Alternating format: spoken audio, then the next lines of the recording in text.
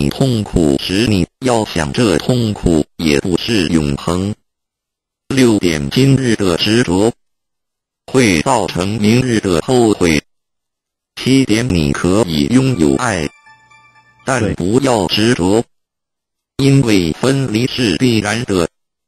八点，不要浪费你的生命在你一定会后悔的地方上。九点，你什么时候放下，石磨时候就没有烦恼。十点，每一种创伤都是一种成熟。十一点，狂妄的人有救，自卑的人没有救。认识自己，降服自己，改变自己，才能改变别人。十二点，你不要一直不满人家，你应该一直检讨自己才对。不满人家，是苦了你自己。十三点，一个人如果不能从内心去原谅别人，那他就永远不会心安理得。十四点，心中装满着自己的看法与想法的人。永远听不见别人的心声。十五点毁灭人，只要一句话；培植一个人，却要千句话。请你多口下留情。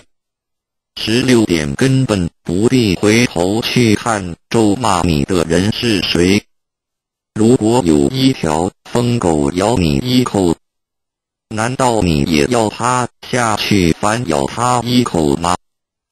十七点，永远不要浪费你的一分一秒，去想任何你不喜欢的人。十八点，请你用慈悲心和温和的态度，把你的不满与委屈说出来，别人就容易接受。十九点，同样的瓶子，你为什么要装毒药呢？同样的心理。为什么要充满着烦恼呢？二十点得不到的东西，我们会一直以为它是美好的，那是因为你对它了解太少，没有时间与它相处在一起。当有一天你深入了解后，你会发现，原不是你想象中的那么美好。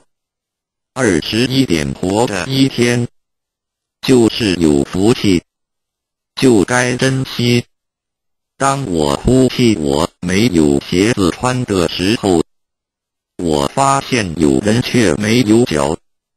二十二点多，一分心力去注意别人，就少一分心力反省自己，你懂吗？二十三点，憎恨别人对自己是一种很大的损失。二十四点，每一个人都拥有生命，但并非每个人都懂得生命，乃至于珍惜生命。不了解生命的人，生命对他来说是一种惩罚。二十五点，情执是苦恼的原因。放下情执，你才能得到自在。二十六点，不要太肯定自己的看法，这样子比较少后悔。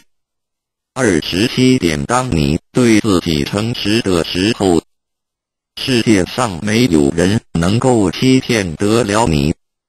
二十八点，用伤害别人的手段来掩饰自己缺点的人。是可耻的。二十九点，默默的关怀与祝福别人，那是一种无形的布施。三十点，不要刻意去猜测他人的想法。